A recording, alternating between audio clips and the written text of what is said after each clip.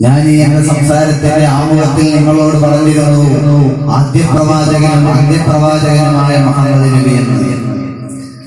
നമ്മൾ സാധാരണയായി മദ്രസകളിൽ അല്ലെങ്കിൽ പൊതുവിൽ സിലബസ് അനുസരിച്ച് പഠിച്ചു വരുന്നത് അന്ത്യപ്രവാചകനായ മുഹമ്മദ് നബി സല്ലല്ലാഹു അലൈഹി വസല്ലം പക്ഷേ ഞാൻ പ്രയോഗിച്ചത് ആദ്യ പ്രവാചകനായ നബിയും അന്ത്യപ്രവാചകനായ നബിയും എന്ന് രണ്ട് വിശേഷണങ്ങളെയും ഞാൻ സമർപ്പിച്ചു.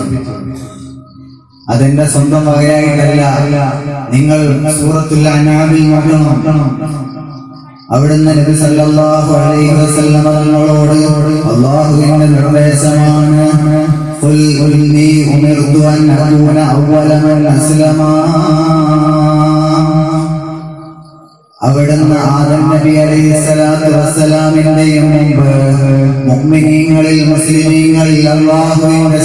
ഷഹാദത്തിനെ ആദ്യം അംഗീകരിച്ചത് ഞാനാണ്.